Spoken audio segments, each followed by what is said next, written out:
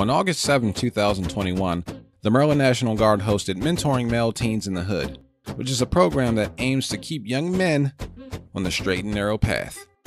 We want the young men to start thinking about a possible career in the military or uh, a M-Day soldier, which would be one weekend a month, two weeks out of the summer. We want them to have options. During the event, the Maryland National Guard gave a tour of their facilities and showed the youth a variety of aircrafts. Talking to the Maryland National Guard has been quite good because I get to learn new things and they get to teach me new things that I've never learned before. What you do today could potentially influence somebody tomorrow. And during this event, the Maryland National Guard got the opportunity to potentially make an impact with today's youth being able to see something that majority of people in the community like Baltimore City don't normally see.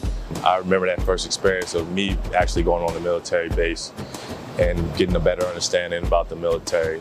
So I know that that's what they feel already, and I could just, it's kind of um, made me reminisce on how I first seen the military. Reporting for the Maryland National Guard, I'm Staff Sergeant Chazz Kibler.